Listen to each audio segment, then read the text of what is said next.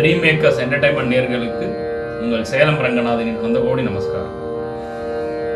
இப்போ ஒரு ஒரு ஸ்டூடெண்ட் வந்து ஒரு ஒன் இயர் கம்ப்ளீட் பண்ணிட்டார். இப்போ எங்கிட்டே வர ஆரம்பிச்சுக்கோங்களேன். ஒன் இயர் வந்ததுக்கப்புறம் அவர் எப்படி வாசிக்கிறாருங்கிற ஒரு ப்ராக்ரஸ் வந்து கண்டிப்பாக வேணும். ஏன்னா அது இருந்தால் தான் ஒரு நமக்கு அந்த லைவாக அந்த செஷன் போயிட்டு இருக்கும். ஏனோ தானோன்னு எந்த பாடத்தையும் படிக்கக்கூடாதுங்கிறது எங்களோட குருநாதர்கள்லாம் எங்களுக்கு வழிகாமிட்டே இருந்தாங்க.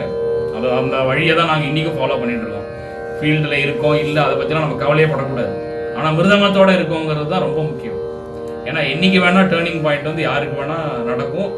அது நம்மளோட கையில் இல்லை இறைவன் அருளால் நடக்கும். சரி சார் ஒன் இயர் வந்து ஜாயின் பண்ணிட்டாங்க. ஒன் இயர் வாட்சண்டே வர்றாரு. என்ன பண்ணணும் திடீர்னு ஒரு டெஸ்ட் வைப்போம் டெஸ்ட் அப்படின்னா என்னன்னா இவ்வளோ நாளாக படிச்சேடா குழந்தை நான் ஒரு மாதிரி தாளம் போடுறேன். நீ மட்டும் வாட்சண்டே வா அப்படின்னு சொல்லுவோம். அப்போ அந்த பையனை வந்து எப்படி சர்டிஃபை பண்ணுறோம் அப்படின்னா இப்போ நான் ஒரு தாளம் போடுறேன். நீ தாளம் போட்டு வருவேன். நீ என் தாளத்துக்கு வாசிக்கணும்னு சொல்லி அவனுக்கு முன்னாடியே ரெண்டு நாள் முன்னாடியே திடீர்னு ஒரு சர்ப்ரைஸ் டெஸ்ட் வச்சிருவாங்க.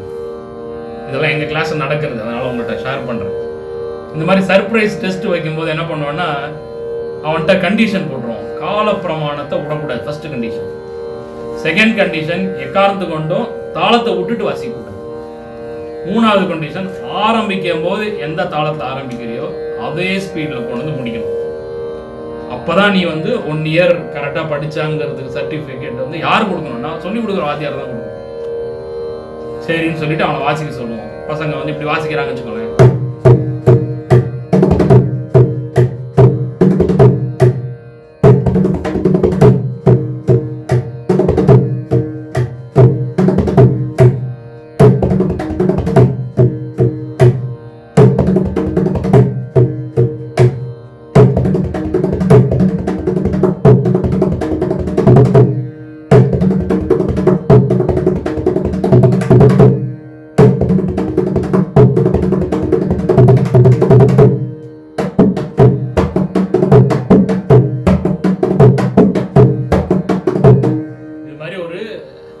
இடத்துல எங்க பாடத்துல ஒரு பாடங்கள் வரும்.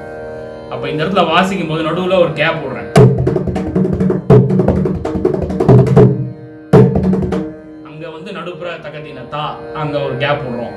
அது சொல்லி கொடுக்குற போது அந்த கேப்புக்கு என்னங்கிற சொல்லிடுவோம். தாக அப்படின்னா நாலு மாத்திரை. தாங்குன்னு வந்ததுன்னா மூணு. தாமுன்னு வந்தா ரெண்டு. இதெல்லாம் அன்னைக்கு வரும்போது தாகா தாங்கு தாம் தின் தாங்கன எவ்வளோ தக்கிட்டன எவ்வளோ அதெல்லாம் அன்னைக்கு வரும்போது சொல்லி சின்சியர் ஸ்டூடெண்ட்டாக இருந்தால் கிரகிச்சுருவான் சில பேர் வந்து ரொம்ப அப்படியே லெத்தார்ஜிக்காக படிக்கிறது குழந்தைகள் இருக்கா? அது நம்ம ஒன்றும் பண்ண முடியாது. அவாவோட சுபாவம் அது. அப்படி வரும்போது என்ன பண்ணுவான்னா இந்த இடத்துல தள்ளி விட்டுருவான். இப்போ தாம் தக்க தக்க தறி கட்ட தக்க டத்தம் கெட்ட தக்க தக்க தறி கட்ட தக்க தக்க தா. தாம் தக்க தக்க தறி கட்ட தக்க டத்தும் தறி கட்ட தக்க தக்க தின தக்க தா. தாம் தக்க தக்க தறி கட்ட தக்க டத்தும் கெட்ட தக்க தக்க தறி கட்ட தக்க தக்க தின தக்க தின தக்க தா. திக் தக்க தாம். தத்தி கிட்டத்தும் திக் தக்க தாம் தத்தி கிட்டத்தும் திக் தக்க தாம் தத்தி கிட்டத்தும் இப்படின்னு வாசிச்சு முடிச்சுட்டான்னா எங்கிட்ட சபாஷ் வாங்கிடுவோம் ஏன்னா எங்கிட்ட நான் சொல்லும்போது என் ஸ்டூடெண்ட் பற்றி நான் பேசிட்டு இருக்கேன்?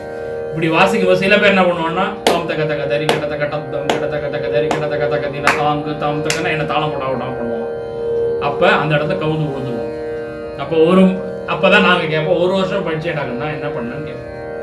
ஸோ இது காரணம் என்னன்னா வெறும கிளாஸுக்கு வந்தோம். பாடம் படித்தோம் வீட்டுக்கு போனோங்கிறது இல்லாமல் ரிலேட் பண்ணி படிக்கணும்.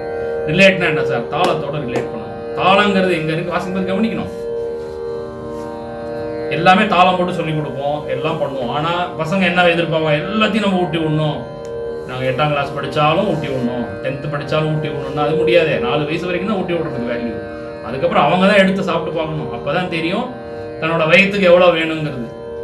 இதெல்லாம் ஏன் சொல்றேன்னா இந்த ஒன் இயர் வந்து ஒரு குழந்தை அழகா படிச்சுன்னு வந்தான்னா கண்டிப்பா மிருதங்கம் அவனோட இருக்கும். அதுல எந்த விதமான சந்தேகமும் கிடையாது. நீங்க வரோம் வரலங்கிறது திருப்பி யோசிக்கவே வேண்டாம். அவனுக்கு மிருதங்கம் வருங்கிறது நாங்க சர்டிஃபை பண்ணிடுவோம். இது வந்து முறைப்படியா படிக்கிறதுக்கு உண்டான பாடங்கள் எங்கள்கிட்ட அவைலபிளா இருக்கு. நீங்க இதை வந்து கிரகிச்சுக்கணுங்கிறது பிரார்த்திக்கிறேன். இது இந்த இது எங்க பண்ணலாம் அப்படின்னா மொபைல் நம்பர்ஸ் இருக்கு. நீங்கள் வேணால் ஸ்கைப் ஐடியில் கால் பண்ணீங்கன்னா அதுலேயும் பண்ணுவோம். இல்லை இமெயிலில் கொடுத்து எங்களுக்கு என்கொயரி பண்ணீங்கன்னா எங்கள் டீம் வச்சு நாங்கள் உங்களுக்கு ரெஸ்பான்ஸ் பண்ணுவோம். கற்றுக்கொள்வோம் வாசிப்போம் இசையுடன் பயணிப்போம். விடைபெறுகிறேன் உங்கள் சேலம் ரங்கன்